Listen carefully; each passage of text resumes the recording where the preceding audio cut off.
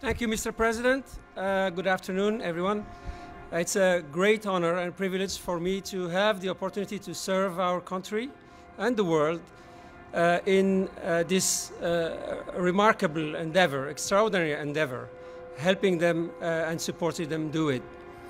The uh, Operation Warp Speed's objectives are very clear. The President has described them, and I believe they are very credible.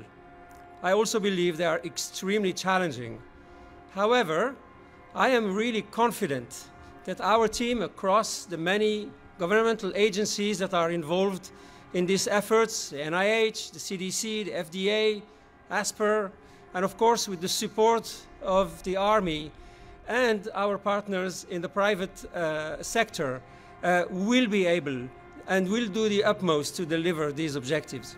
In fact, Mr. President, I have very recently uh, seen early data from a clinical trial with a coronavirus vaccine. And these data made me feel even more confident that we will be able to deliver a few hundred million doses of vaccine by the end of 2020. Uh, uh, and we will do the best we can, the best we can to do that. Thank you.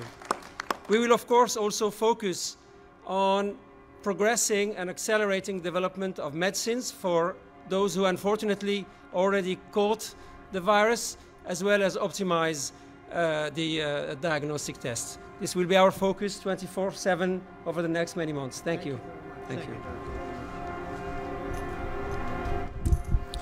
Good afternoon, Mr. President. Thank you. Thank you for this great honor for allowing me to be a part of this team.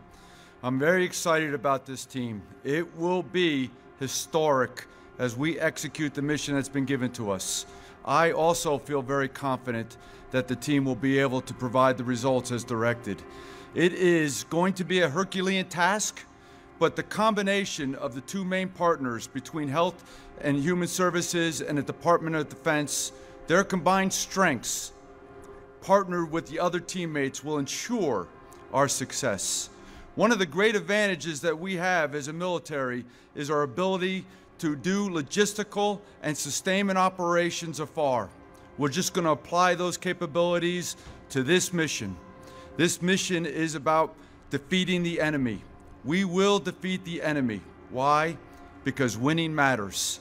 And I'm excited to be a part of this team. And Mr. President, thank you. Thank you very much. Appreciate it.